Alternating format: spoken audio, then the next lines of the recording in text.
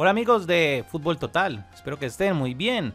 Partidazo en la Bundesliga entre el Dortmund y Bayern Múnich, que finalmente lo ganan los bávaros 2-3. Bueno, en ese momento no acaba el partido, pero estamos sobre tiempo extra. Pasó una jugada realmente lamentable, un susto tremendo. Julian Brand cayó desmayado en el campo de juego sobre el minuto 65, un golpe terrible en la cabeza. ¿Qué pasó con el jugador? ¿Cómo se encuentra? Te vamos a contar detalles de qué pasó con Julian Brand en ese compromiso.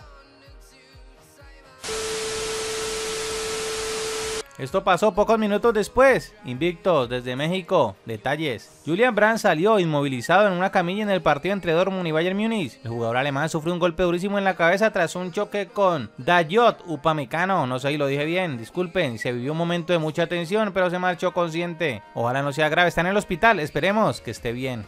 Otro dato, esto es fútbol. Julian Brano pudo continuar el partido entre Dortmund y Bayern. El futbolista alemán sufre un golpe en la cabeza tras un choque con Upamecano. Fue atendido consciente en el Signa Park.